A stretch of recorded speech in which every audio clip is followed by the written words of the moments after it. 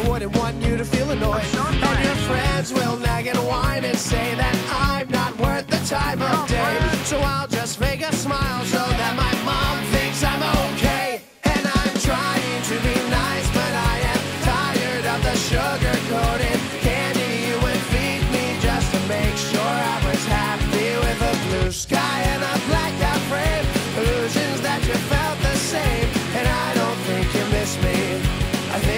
missed the thought, that's all that counts.